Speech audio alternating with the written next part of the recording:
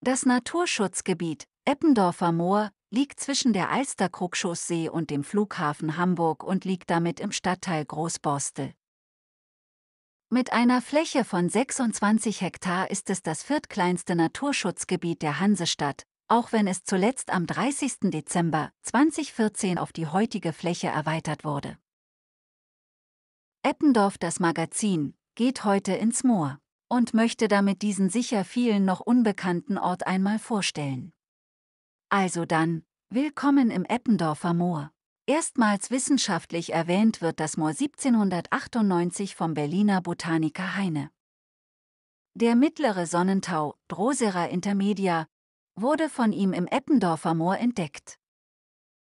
Auf der Weltausstellung im Jahre 1904 in St. Louis erhielt das Botanische Staatsinstitut Hamburg eine Goldmedaille für eine Ausstellung über die Flora des Eppendorfer Moores.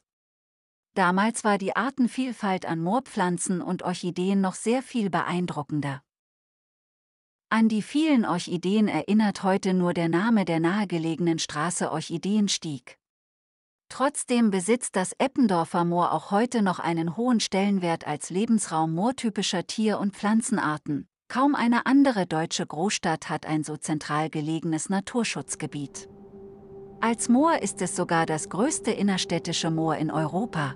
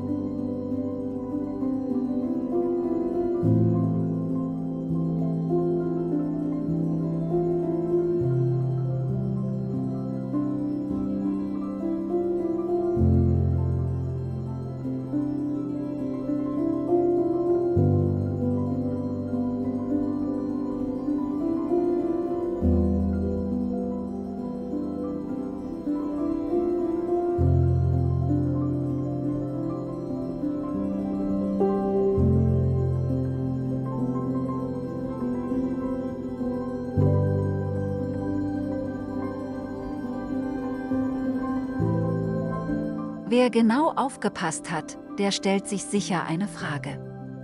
Warum heißt es Eppendorfer Moor, wenn es doch in Großborstel liegt? Dieser spannenden Frage geht Eppendorf, das Magazin, demnächst nach. Also, einfach unseren Kanal abonnieren, die Glocke aktivieren und keinen Beitrag verpassen.